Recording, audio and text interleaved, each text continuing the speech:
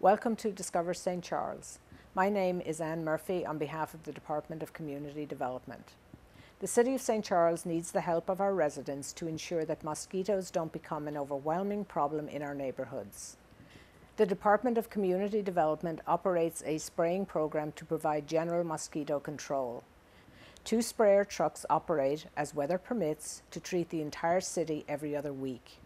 In the interim week, problem areas are dealt with, especially those bordering creeks and other low-lying or standing bodies of water.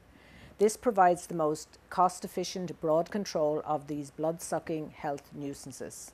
Please call 636-949-3222 to report any areas where mosquitoes are unusually dense so that area can be assessed for interim week problem area treatment. The City uses Univar Masterline Kontrol 4-4, which is effective on mosquitoes, flies and gnats. This chemical is not toxic to humans or pets, but exposure to the mist may cause irritation. Therefore, we recommend that you and your pets avoid exposure to the active fog. You can help keep city environs healthy and safe. Check your property for places mosquitoes can breed and develop. Standing water in ditches, pools and holes in your yard can provide safe haven for mosquitoes. Check any exposed containers such as cans, boxes, bottles, buckets or tires where water can collect. Also, check roof gutters to make sure that there are no standing water issues and they are draining properly so that critters cannot develop there.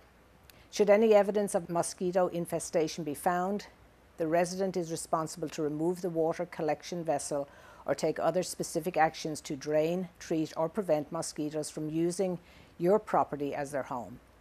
The various treatment options and the requirements for property owners to maintain their property against mosquito breeding are contained in the City's Code of Ordinances.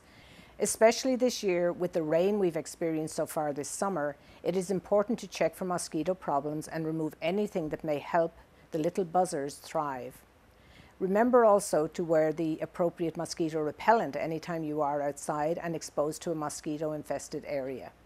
Mosquitoes can carry a variety of diseases that can be transmitted to humans. Help us keep our community healthy and safe. If you have questions about the City's requirements or processes, please contact the Department of Community Development through the City website shown or call 636 949 3222.